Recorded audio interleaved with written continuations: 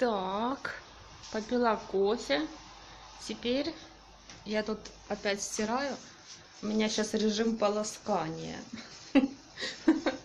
Просто я как бы включаю воду, говорю, так, теперь режим полоскания. Включаем. Ну, типа, воду набираешь и полощешь. Короче, зубы тут заходят в зубы. Потому что я пила таблетки эти, Декасан. Они розета. Раздражают зубы, зубную эмаль. Да еще ж мне там э, чистили от зубного камня. Короче, когда лечили, то врач говорит, я вам тут внизу почищу зубной камень, говорит, потому что надо так. Ну, короче, такие это дела. Видите, меня тут целые наборы. Коньяк уже месяц стоит. Очки. Огни эти. С Нового года еще. Сигареты, две зажигалки. Ну, я не курю, но они у меня тут лежат. Кстати, надо, если бросать курить, то вот так вот бросить, чтобы они у тебя лежали. Ты их не прятала, но ты не курила. Тогда это нормально. Тут, короче, всякие бутылочки. Надо мультиварку продать. Это она огромная, и в ней только три режима. Не варю я уже в ней. Надо хоть за 200 гривен. Никому не надо. За 200 гривен. Такой космический корабль. Три режима, каша, суп и что-то еще. И надо постоянно отключать, нельзя оставлять включенной.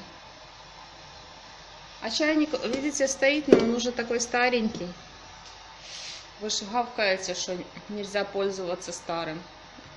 Пяти-семилетним. Ну, так я теперь кипячу. Мысочки. Хотя он полностью рабочий.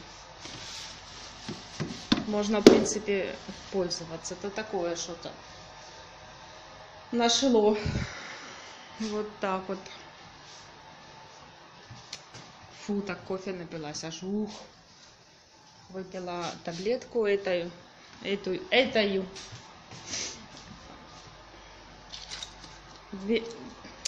Биодобавку до рациону. Это немецкие, кстати. Ну, по крайней мере, написано Bosch Lomb. Это фирма немецкая и контактные линзы производит, и раствор для контактных линз. Ну, от них реально и ногти растут. Ну, не сильно они, конечно, я не, не люблю, я это подпиливала. И волосы, и для кожи. Короче, рыбий жир, омега-3. Ну, надо три месяца пить, но они не дешевые. Три месяца пить, утром и вечером по капсуле. Она легко пьется. И, короче, это, ну, одна упаковка 60 штук. Короче, на, на 3 месяца надо 3 упаковки по 60 штук, да. А одна упаковка что-то 350, около 400 гривен. То есть, э, грубо говоря, 400, но оно меньше, конечно, 800, 1200 гривен надо на весь курс но они реально действуют. Они, во-первых, для мозга, там не только рыбий жир, ну, они очень хорошо для работы мозга, вот если у вас забывчивость, потому что у меня начинается такое, что я забываю многое что, и потом, когда я пропью, мне хорошо так мозг работает, я сама ощущаю это. То есть память четкая, зрение, на зрение вообще идеально, на волосы, на ногти. В общем, полностью на весь организм. Нервная система успокаивается. Ну, не знаю, мне лично они нравятся. Мне когда-то в Киеве по, ну, выписали врачи микрохирургию ока, глаза, микрохир... центр микрохирургии глаза. Ну, самый там на это, на отрадном. Комарова 3, по-моему. И я их с того времени, это, наверное, с 16, не, с 14, 13 года, я их, короче, Стараюсь каждый год, три месяца пропила, и так каждый год, каждый год, каждый год. Они поддерживают и кожа лица, и мне кажется, что они даже для кожи лица хорошо, ну, и вот, ну, в общем, для всего. Мне нравится результат. Может, есть что-то еще круче, так пишите, будем рассматривать. Я где-то там выписала, кто-то мне рекомендовал когда-то какие-то еще круче, которые дороже. Но я пока их не спрашивала в аптеках. Говорили, что то вообще прям супер, потому что для зрения, по зрению хорошо. Ну, то есть становится все ярче, очищается сетчатка от вот этих всяких вредных веществ. Становится все ярче, четче, так прям ух. Вот так вот. Все, кажется, мне уже полоскание надо делать. Так, все, сейчас будем делать. Когда-то было время, для меня апельсин был, это что-то сверхъестественное. Это было советское время, ну как, окончилось советское время, и люди откуда-то, помню, привезли апельсинов, ну, в общем, соседи, откуда-то достали апельсинов, они у них лежали на кровати, целая кровать. Ну, э, и подруга моя, одногодка, показывала мне эти апельсины. Их было очень много. И ни одного никогда не дала. Ну, я и не просила, в принципе, мне стыдно было. И вот запомнилось этот, она открывала, на кровать была большая. По-моему, с Западной Украины им родственники как-то привезли. И открывала такую покрывало, и там лежали эти апельсины горой, такие же, такие красивые. Я так хотела этого апельсина украсть, но я не могла. Но мысли у меня были только про те апельсины, чтобы хоть бы одного пионерить, короче. Так что было такое время, когда не было этих пепесинов. Именно вот такие были большие, красивые. Но никто не угостил. Но показывали. Ну, как дети любили хвастаться. Зато я выдумывала всякие себе эти небылицы. Ну, типа, раз то, что хотелось, то выдумывала. Выдумала, что у меня много жвачек в то время только стали появляться какие-то жвачки польские, не знаю. И я говорю, а мне привез дядя из России много-много жвачек. Так покажи, говорю, не могу. А, при, так угости. Я говорю, не могу, мне мама не разрешает. В итоге не было тех жвачек, а потом стали их продавать. Стали продавать такие Том и Джерри и Турбо. От туба болели сильно челюсти, потому что они плотные такие. Ну, когда их 3-4 жвачки одновременно запихиваешь, жуешь, то челюсти просто отпадают. А потом стали появляться куклы Барби. И я, мама мне купила, помню. И я такая была счастливая вообще. Хотя, ну, подделка была. Но стали рассказывать, что есть какая-то кукла Барби американская, настоящая. У нее ручки, ножки гнутся. Ну, мне же, конечно, такую никто никогда бы не купил, потому что ее и не было, и если бы она и была, то бы она была дорогая. Но за апельсины я запомнила. Апельсины на кровати у соседей. Это как такая яркая, яркое воспоминание из детства. Ну, я не могу сказать, что мы голодали там или что, но период, конечно, развала Союза немножко подголодали. Ну, так, чтобы уже совсем там умирали, ну, всегда же была картошка с огорода. Да, пустой борщ варили, суп, но нормально, ничего. Можно выжить, в принципе, человеку в любых условиях. Я потом же, ну, жила в Киеве, сразу после школы. Так э, я больше голодала в один период. Ну, как-то мозгов не хватало, что надо есть постоянно. Ну и денег не хватало. Ну, нерационально, может, они тратились. Во-первых, их было очень мало, притык. И нерационально тратились там. И было такое, что от голода голова кружилась. Ну, не ела, не ела. Оно как бы, когда не ешь, оно потом уже не хочется. Но тебе становится тяжело как-то, голова кружится. Тошнит, о, тошнит и укачивает в транспорте. А не есть-то можно. Ну, допустим, печеньку ты маленькую съел, ты уже наелся, когда ты уже желудок свой стянул до минимальных размеров. Но потом тебе плохо просто. Ну, тошнит, голова кружится. Так как молодой, то организм еще хороший, бодрый, он может это выдержать. Сейчас бы, конечно, уже... Ну, после того, как я в Киеве сильно заболела, у меня почки простудились. Первый раз я сильно заболела, ну, тоже так голодала немножко, подголадывала, то у меня ухо простудилось и почки. А второй раз тоже сразу почки страдают. Когда неправильно питаешься и ну, неправильно живешь, то почки сразу дают знать. У меня, по крайней мере.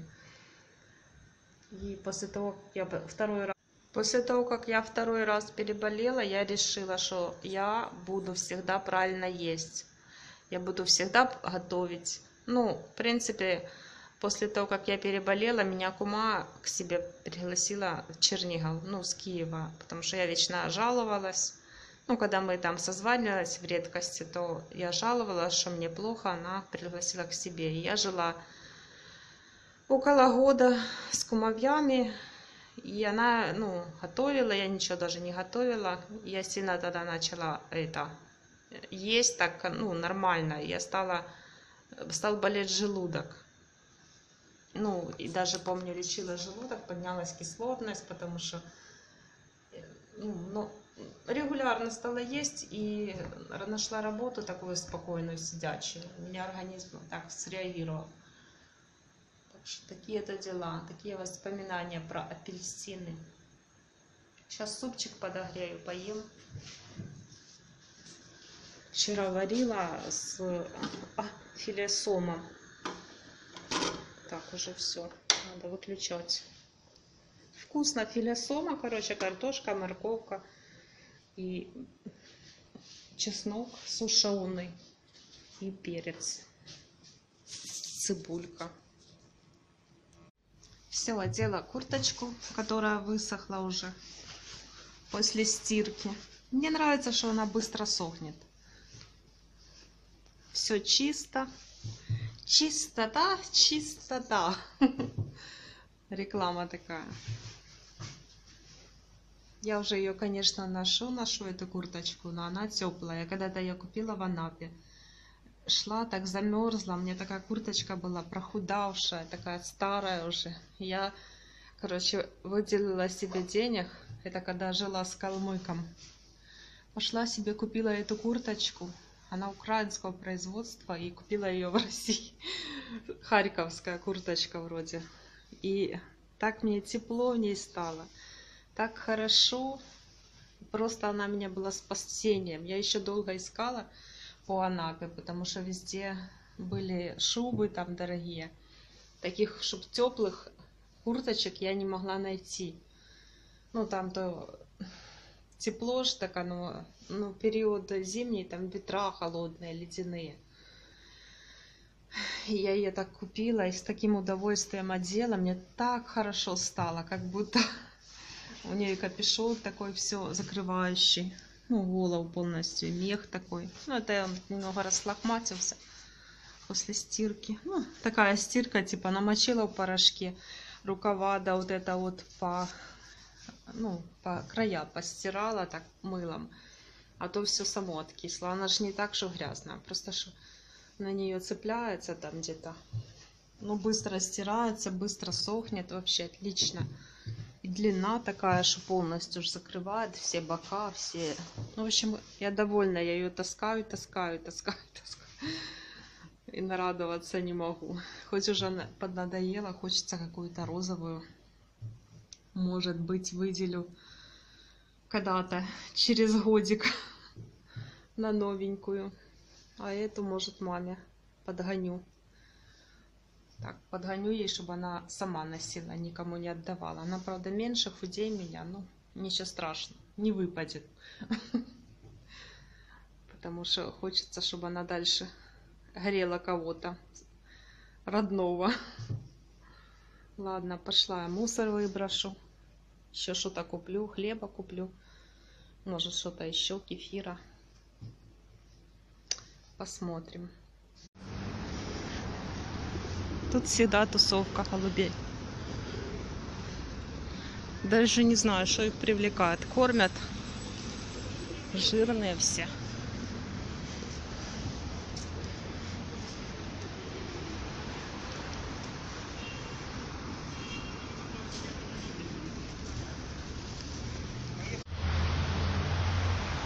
Такая вот кормушка.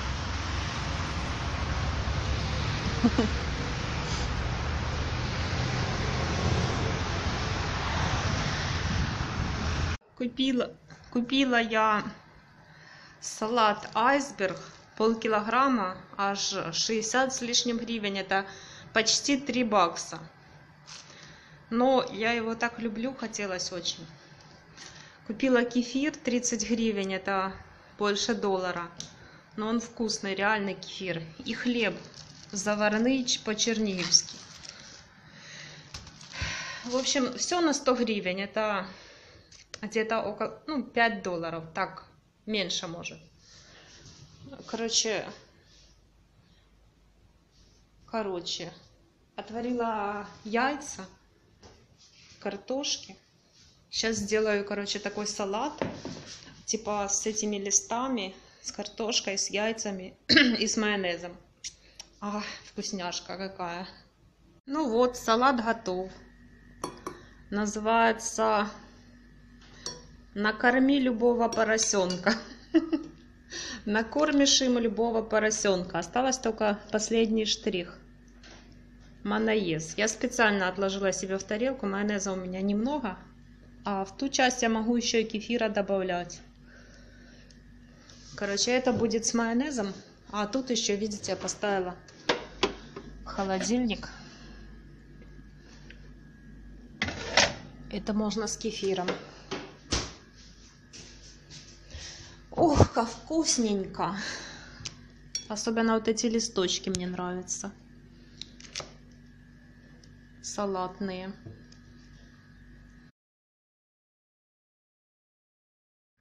А вот так будет оно с кефиром. Я просто обожаю салаты, конечно. Это такая вкуснятина.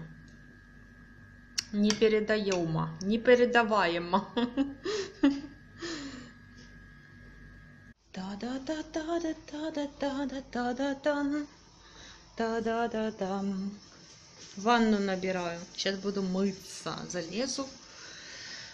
Ах, люблю ванную. Ванну. Чашечку кофе. Не, шучу, кофе не, уже ночь. На дворе не ори.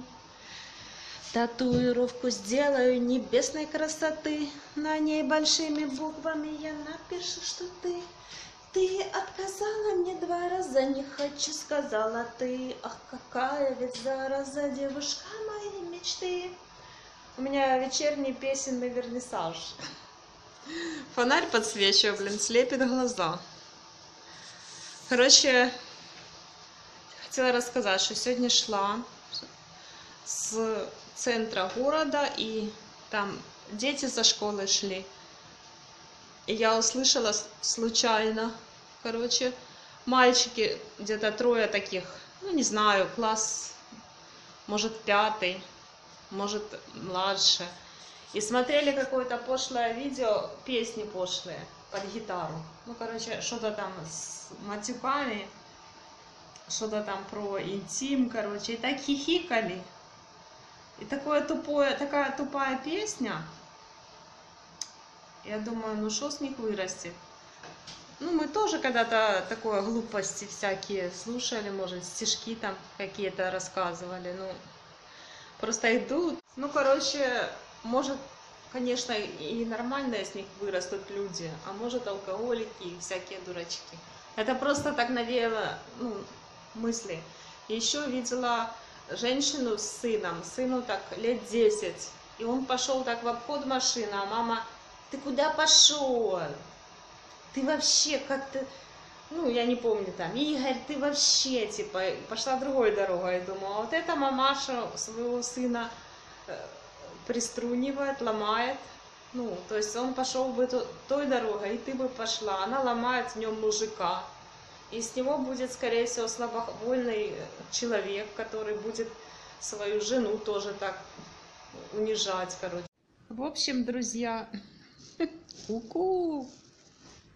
Хотела сказать, хотела, хотела, эй, хотела, хотела сказать, что, короче, про ту женщину, которая своего сыночка шмыкала, и вырастет с него такой задерганный парень, который может, ну, если, конечно, в него свое не проснется, ну, своя сила воли, уверенность, что он нормальный, а не какой-то там дебил.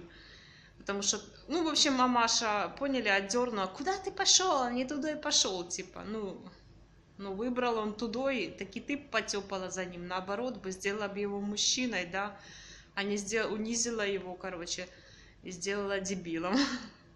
Короче, я хотела сказать, что, что не штурляйте своих детей, не растите с них дебилов, особенно парней, а то потом, чего ж мы жалуемся, что такие мальчики, мужики такие, потому что мамочки повыращивают сыночков так, зашмыкают их, задергают, потом либо маньяки, либо жлобы какие-то, либо нищеброды. Ну, нищеброды не имеется в виду, что без денег, а в душе нищие.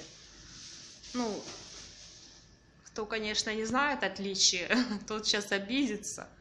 Но это отличие в том, что есть люди с малым количеством денег, но они себя ведут достойно, они себя не чувствуют нищими. И у них всегда обычно на все находится. А есть люди даже большими зарплатами, но они жадные и они нищеброды просто. О, Самвел опять что-то выпустил. А, все прошло. Все прошло, пройдет и это. Короче, вы поняли. Не растите детей идиотами просто.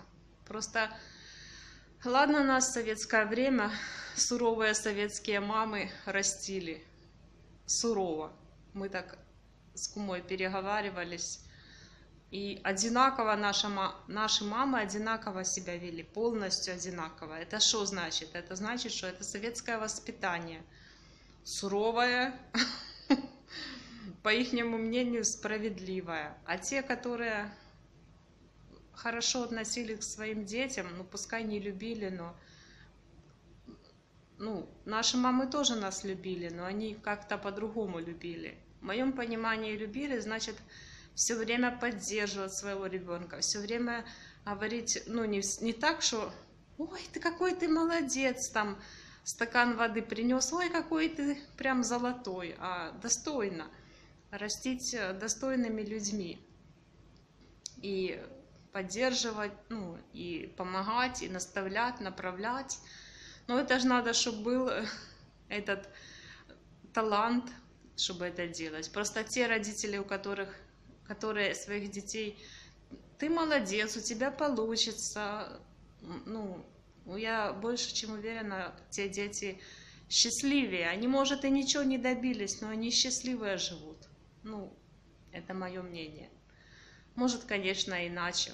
Может, кто-то из вас, вас, родители, так говорили, ты у меня умница. Есть такие, кто меня смотрит кому родители говорили, ты у меня молодец, у тебя все получится, давай, все хорошо, не расстраивайся, это все пустяки, потому что я всех людей знаю и всех родителей. Да ты дебил, когда у тебя руки с жопы выросли. да ты ничего не можешь, будешь вот доживать свой век где-то в дурдоме, ну, типа в таком плане, или ты там жирная, куда ты одела, патлы завяжи, как чучундра. То есть через такую, через такое, ну, очень сложно пробиваться, но когда пробьешься, то ты потом просто никого не слушаешь, ну, если пробьешься. Я думаю, что есть люди, которые не пробиваются через эту призму родительскую, угнетение. Ну, то есть, такие мои мысли. Я просто иду по городу, я слышу какие-то фразы, ну, там, разговора, и цепляю за эти фразы и как бы влезаю в ситуацию, начинаю ее разбирать. Ну, я так всегда делаю. Я всегда, кстати, делаю разбираю ситуацию, когда мне кто-то что-то говорит. Я думаю, ага, почему он так сказал, а почему, ну, а что это? Ну, конечно, если это что-то задевающее меня, то у меня сразу вспыхивает что-то внутри. Огонь загорается. И тогда я даже не могу ничего думать, сразу мне надо что-то... Ну, вот как я блокирую людей, блокирую. Типа, что-то написали, мне сразу вспыхнуло огонь такой прямо до самого мозга. Я все удалила, все, мне хорошо и забыла. А если ситуации, которые меня не обижают, то я начинаю думать, а почему он так сказал, а что он имел в виду, а а что, а как, и начинаю вот это все копаться в этом. И очень хорошо чувствую, когда люди обманывают. Вот в Фейсбуке прочитала там статью про эмпатов, по-моему, те люди, которые чувствуют когда их обманывают. И я вот чувствую, что вроде человек хорошо к тебе, добр, вообще прям, но ты чувствуешь, он что-то в нем не то. Вот он неправду говорит. Он как-то в свои в него мысли. Ну, в общем, это интересная тема, но это долгая тема. Видео и так будет долгим. Так что спасибо вам за лайки. Это я вылезла с ванной помыла голову, потому что она уже жирнеет, завтра будет совсем жирная. Ну, два дня выдерживают волосы, потому что свои уже натуральные растут. Ну, классно, когда свои. Гораздо лучше, чем вот перепаленные, пережженные эти белые пучки соломы. Как они сыпались у меня в Польше, так это вообще уму непостижимо. Все, стала прощаться и перешла на волосы, все. Нема жизни. Говорить, не переговорить, не переговорить. Говорила, переговорила, переговорила, переговорила. Короче, пока, до завтра. Спасибо за просмотры, за лайки. И всем всего хорошего. И мне в том числе.